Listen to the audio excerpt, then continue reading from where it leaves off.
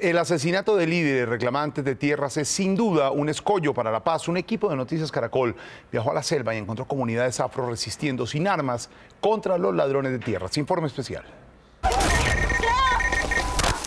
Hace 15 años, cuando el conflicto era más intenso en la zona del Urabá chocuano, la guerra por la tierra se ensañó con las comunidades afrodescendientes.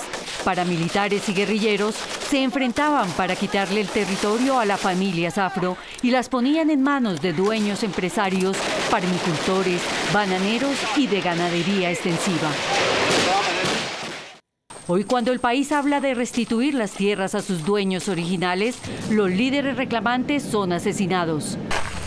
Nubia es la viuda de Orlando Valencia, un líder emblemático asesinado en octubre de 2005. Y llegaban diciéndome, ¿ustedes no saben que este territorio es de nosotros? Le dije, no. Bueno, ya sabes que, es de, que esto es de nosotros, salgan. Orlando, su esposo, no paró de pelear por las tierras ancestrales del Curvaradó. Su lucha fue conocida a nivel nacional e internacional. Cuando intentaba viajar a Estados Unidos para representar a su comunidad, unos encapuchados se le atravesaron en el camino. Cuando llegó a Bajira, lo cogieron ahí y ahí cuando lo mataron. Lo encontraron a él ya deshacido. En medio de sus desvelos, consolidó su hogar y les transmitió a sus hijos el amor por la tierra.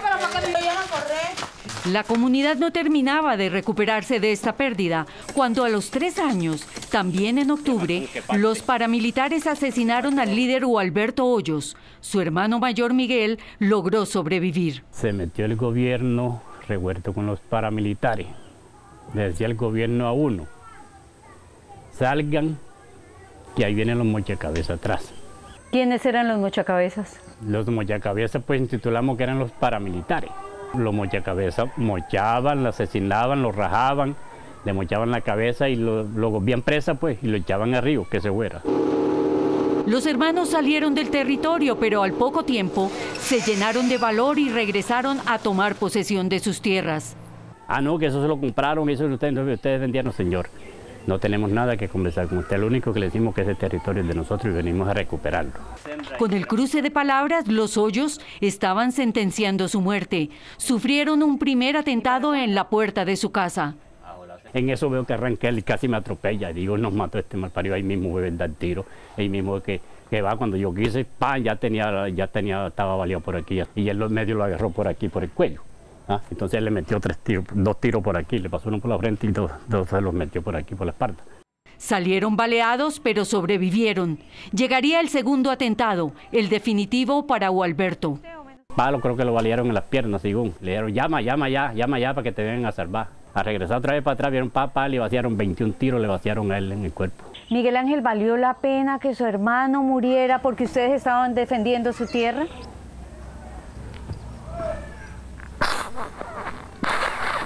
En su llanto de pérdida que alivia con el zapato de su hermano, que conserva para recordar que el camino lo hicieron juntos, Miguel está esperando aquí con su mujer, sus gallinas y su perro, que le devuelvan su parcela. Otra vez estamos aquí, mañana tenemos que ir al monte, ¿oíste? Dos años después, el turno trágico sería para el líder Argénito Díaz, al que le habían anunciado su muerte. Yo lo aconsejaba mucho que se retirara de eso, porque yo no quería que mis hijos quedaran huérfanos. Y él me decía, yo me metí en esta a luchar por mis tierras y yo voy a seguir adelante. Cuenta que fueron encapuchados los que le salieron a la carretera y lo remataron con tres tiros. Su hermano Guillermo ha pedido medidas de protección, pues para esclarecer la muerte de su hermano acusó a empresarios y ha recibido amenazas. El sueño de él era ver viviendo a todo el mundo en esta cuenca del Curvarado y no teniendo ya el sector empresarial acá. Y yo le decía, hermano, pero es que es muy difícil. No, no, a mí no me importa, si me van a matar, pues que me maten, pero alguien debe continuar con esto. ¿Usted heredó las amenazas que venía sufriendo su hermano? Sí, a mí me han amenazado muchas veces también. Entre sus manos carga el que ha sido su amuleto, la imagen de su hermano en el llavero de su casa. Resistir y resistir por nuestra tierra. Para resistir en medio del conflicto armado, hace 12 años crearon pequeños pueblos que no son pueblos, rodeados de frágiles alambrados, aldeas que más parecen campos de refugiados. Mañana entraremos para ver cómo están viviendo estas familias en estos territorios que bautizaron zonas humanitarias de paz.